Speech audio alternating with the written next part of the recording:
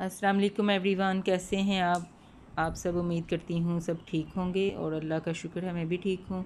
आज बच्चों ने बनाया बर्गर अपने लिए क्योंकि मैंने चपली कबाब बना के फ्रीज़ किए हुए थे तो ये जब खाना हो तो निकालती हैं और अपनी मर्ज़ी से जो चीज़ इसमें लगानी हो बर्गर के अंदर तो सैलड वगैरह, इस तरह सब कुछ माइनीस वगैरह लगा के तो ये खा लिया इन्होंने नाश्ते में।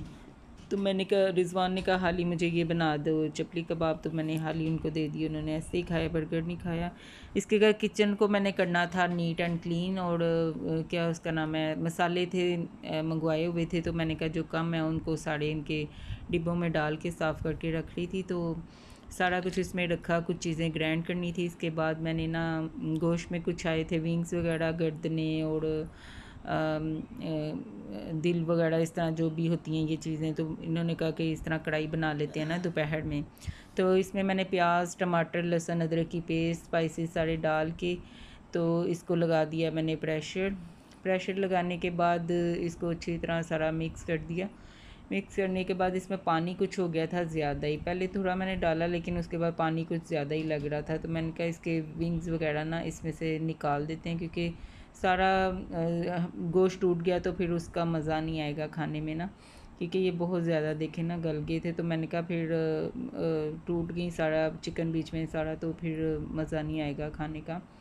तो फ़र्स्ट टाइम ये बनाया पहले कभी बच्चों ने खाया नहीं है इन्होंने बहुत पसंद किया, ये मैंने निकाल के बाहर निकाल दिया था, फिर इसका पानी मैंने ड्राई किया। बच्चों ने भी बड़े शौक़ से खाया और हफ्सा को भी बहुत अच्छा लगा। इसके बाद इसमें दही भी डाल के इसकी बुनाई अच्छी तरह करके और धनिया, हरी मिर्चें डाल के इसको रेडी कर लिया। इसके बाद सबने मिल के हमने दोपहर में ये खाना खाया। फिर रिजवान भी गिर थे, कुछ उन्होंने मेरी हेल्प की कि वो ऐसी चीज़ें ज़रा शौक़ से बनाते हैं। फिर वो काम शाम करके सारा रेडी हुए। इसके बाद मैंने सोचा कि अब शाम को क्या बनाऊँ? तो मैंने कहा, चलो आलू मटर गोश्त बना लेती हूँ। तो मैंने प्याज को फ्राई किया। फ्राई करने के बाद इसमें साथ ही मैं लहसुन अदरक की पेस्ट डाल देती हूँ, क्योंकि उसकी भी पेस्ट की भी अच्छी सी बनाई होती है तो वो उसकी स्मेल बड़ी अच्छी आती है।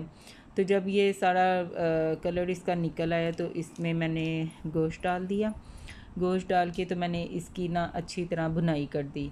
कि जितना मैं ज़्यादा कोशिश करती हूँ कि जितनी बुनाई किसी चीज़ की आप करेंगे, वो उतना ही उसका जायका आएगा। हेड गोश्त को मैंने अच्छी तरह इसकी बुनाई की, इसका थोड़ा कलर चेंज हुआ। तो मैंने उधर से साथ साथ दूसरे भी अपने घर के काम कर रही थी, क्योंकि आहिस्ता आहिस्ता सारा घर नीट एंड क्लीन हो गया हुआ था, लेकिन कुकिंग का मैंने कहा, चलो, आज व्लॉग में कुछ ऐड कर लूँ। क्योंकि मेरी भाभी ने मुझे कहा कि, तुम कुकिंग का भी बीच में करो। तो इसीलिए मैंने आज ज़रा थोड़ा कुकिंग का बीच किया है। तो इसके साथ ही मैंने इसमें टमाटर और मिर्चें, ग्रीन मिर्चें डाल के तो इसकी भी थोड़ी सी बनाई की। इसके बाद सारे स्पाइसेस थे, नमक, मिर्च, हल्दी, ज़ीरा, सूखा धनिया, दादरी, वील, मिर्चें भी मैं हर हंडिया में डालती हूँ, क्योंकि इससे भी मिर्चों का ज़रा टेस्ट ज़्यादा अच्छा आता है। तो जब सारे स्पाइसेस डाल दिए, इसको थोड़ा सा बुनाई करके, थोड़ा पानी डाल के तो मैंने इसको लगा दिया था प्रेशर क्योंकि गोश्त गल जाए तो मटर तो आपके पता है फिर बुनाई में हो जाते हैं तो प्रेशर लगा के तो मैं साथ साथ दूसरे काम भी कर रही थी। बच्चे कुछ खाने को मांग रहे थे, कुछ बड़ी बेटी को फ़ीवर था, उसकी तबीयत नहीं दो तीन दिनों से ठीक हो रही। तो वो बहुत डिस्टर्ब सी हुई हुई है तो दुआ करना बस ठीक हो जाए। बच्चे परेशान ऐसे रहें तो माँ बाप परेशान हो जाते हैं। खैर, इसके बाद मैंने प्रेशर खोला तो उसकी गोश्त हो गया हुआ था, गल गया हुआ था। इसके बाद मैंने इसकी अच्छी तरह फिर बुनाई की। करने के बाद मैंने इसमें डाले फिर मटर और साथ में इसकी मैंने बुनाई शुरू कर दी। फिर थोड़ी सी करने के बाद मैंने इसमें पानी डाल दिया क्योंकि ये भी गल जाते। तो फिर थोड़ी देर बाद मैंने इसमें डाले थे आलू थोड़े से क्योंकि बच्चे ज़्यादा नहीं ऐसी चीज़ें ज़्यादा शौक से खाते। मटर हो गए, आलू हो गए कि वैसे चिप्स वगैरह इनको दे दो, वो आपको पता है कि डेली बच्चे पसंद करते हैं। इसके बाद सारा रेडी हो गया था, मैंने बुनाई करके दही भी डाली, इसको अच्छी तरह गल गए आलू भी, मटर भी, सारी चीज़ें तो इसके बाद मैंने इसके ऊपर गर्म मसाला और धनिया डाल के मेरा आलू मटर गोश्त शाम के लिए हो गया रेडी। तो इस तरह मेरी आज की फ़र्स्ट कुकिंग ब्लॉग में है। फ़र्स्ट भी है, पहले भी एक दो की हैं, लेकिन मैंने कहा चलो साथ साथ बंदा कुकिंग का भी करता है डेली व्लॉग में इतना कुछ समझ नहीं लगती कि क्या चीज़ें ऐड करूँ।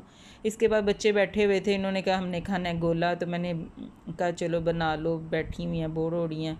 तो इन्होंने बनाया हंसा ने हफ्सा ने गोला बनाया और बना के तो लगी हुई थी बड़े शौक से, नहीं पहले हमने ना अपनी ऊपर आंटी को भेजना।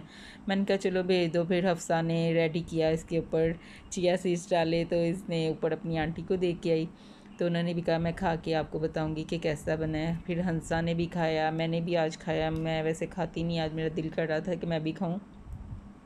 तो इसके बाद हम सबने खाया गोला और इसके बाद बड़ी बेटियों ने खाया नहीं क्योंकि उसको फ़ीवर था और गला ख़राब। वो बहुत ज़्यादा डिस्टर्ब है, खा ही नहीं रही कुछ दो तीन दिनों से और गले में इस तरह फिर इसके बाद मैंने ज़बरदस्ती इसको कहा कि तुम थोड़ी सी रोटी खाओ तो फिर मेडिसिन लेनी है। इसके बाद इसने खा के तो मेडिसिन ली, बस दुआ कीजिएगा, अल्लाह ताला सबके बच्चों को सलामत और सेहत दे। और कल कल तक के ब्लॉग के लिए इजाज़त चाहती हूँ, अल्लाह हाफिज़।